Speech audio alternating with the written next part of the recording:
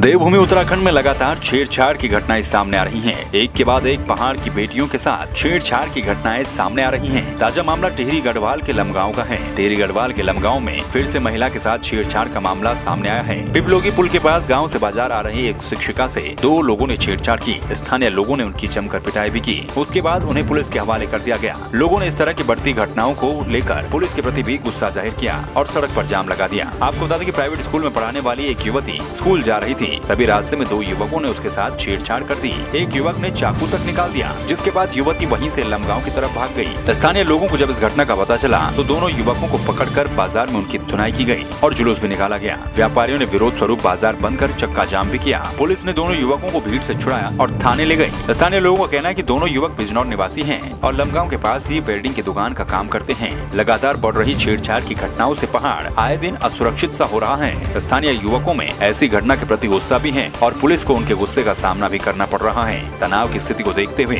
भारी पुलिस बल भी वहाँ आरोप तैनात किया गया है। संवाद थ्री के लिए अमित गुसाई की रिपोर्ट।